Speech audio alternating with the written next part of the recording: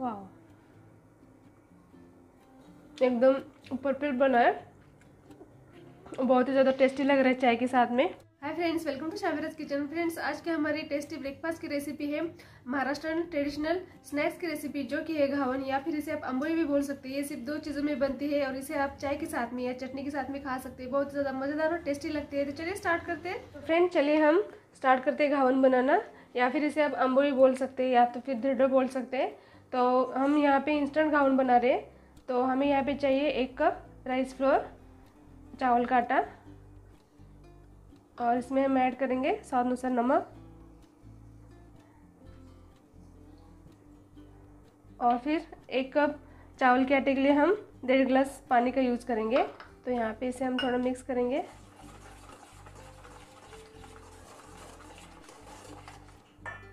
और फिर थोड़ा थोड़ा पानी ऐड करके अच्छे से मिक्स करके लेंगे। तो यहाँ पे हमें राइस के आटे के लम्स नहीं बनाने हैं तो अच्छे से हमें एक स्मूथ पेस्ट बनानी है इसकी।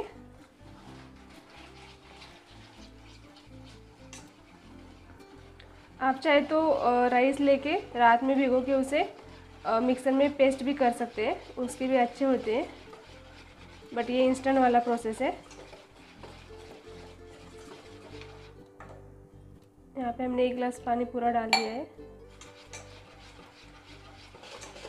तो यहाँ पे आप देख सकते हैं, अच्छे से चावल का आटा मिक्स हो चुका है। लम्स थोड़े भी नहीं दिख रहे। ये देखिए।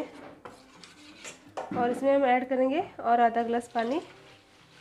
जितना आटा हम पतला करेंगे, उतने अच्छे से जालीदार ये घावन बनेगा। और सुबह में ब्रेकफास्ट में आप इसे खा सकते हो, बहुत ही ज़्यादा अच्छा लगता है। तो यहाँ पे आप देख सकते हैं, एकदम परफेक्ट बना है।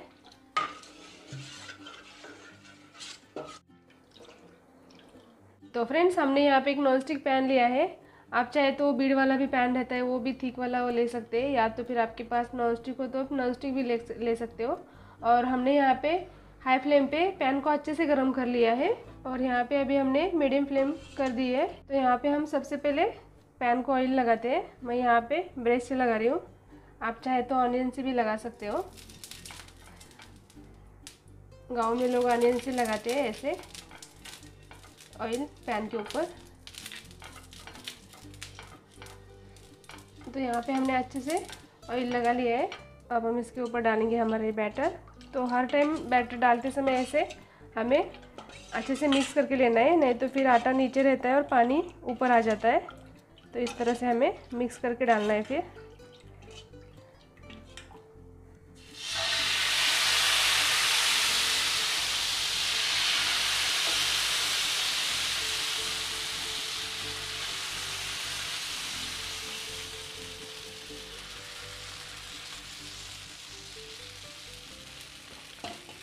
यहाँ पे इसे अब हम ढक के रखेंगे एक पाँच मिनट के लिए। तो अच्छे से पक जाता है। तो फ्रेंड्स यहाँ पे पाँच मिनट हो चुके हैं। अब हम प्लेट निकाल लेते हैं। तो यहाँ पे आप देख सकते हैं, अच्छे से पका है अब इसे हम फ्लिप करेंगे और यहाँ पे आप देख सकते हैं साइड भी लूज़ हुआ है।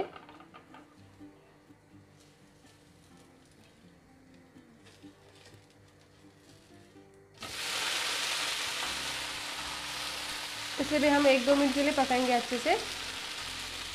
अब इसे हम फ्लिप करेंगे।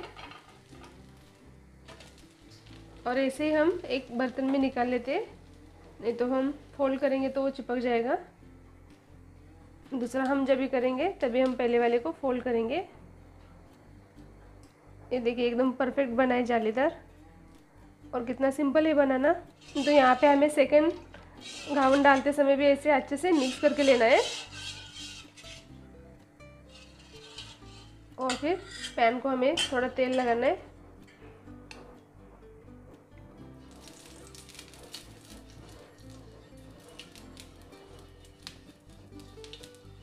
पैन के ऊपर डाल देते हैं अभी।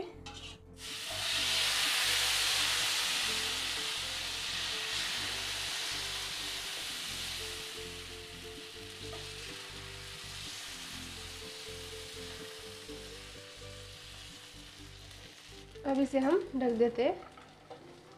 सेम प्रोसेस करना है। तो यहाँ पे हम ढक्कन निकाल लेते हैं। और इसे फ्लिप करेंगे।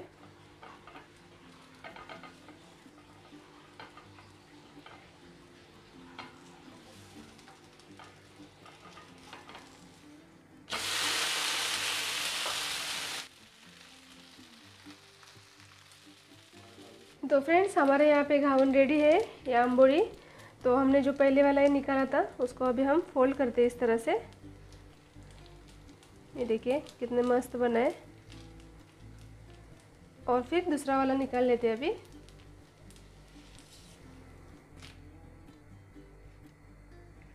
इसी तरह हम बाकी के भी घावन बना लेंगे।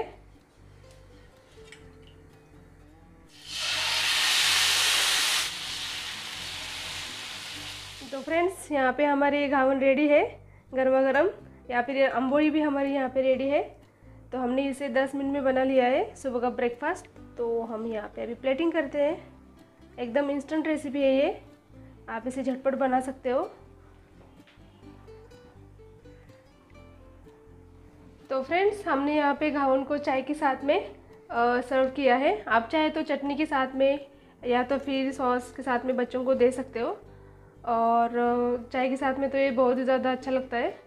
मैं आपको दिखाती हूँ टेस्ट करके अभी।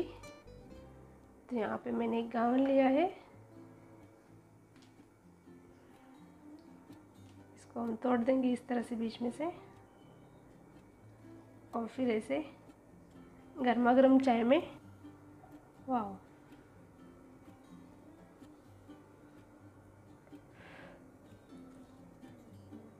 हम्म।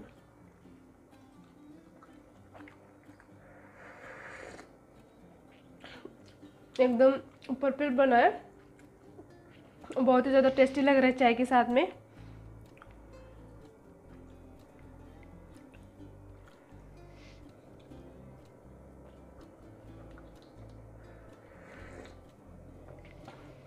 माशाल्लाह बने हमारे घावन आप ज़रूर ट्राई करें सिंपल रेसिपी तो फ्रेंड्स आप ये घावन चाय के साथ में एंजॉय करें और आपकी कमेंट नीचे कमेंट्स बॉक्स में शेयर करें। और अगर मेरा वीडियो आपको अच्छा लगा हो तो प्लीज़ लाइक करें शेयर करें, मेरे चैनल को सब्सक्राइब करें और बेल आइकन दबाना ना भूलें। फिर मिलते हैं और एक मज़ेदार रेसिपी के साथ। तब तक थैंक यू बाय बाय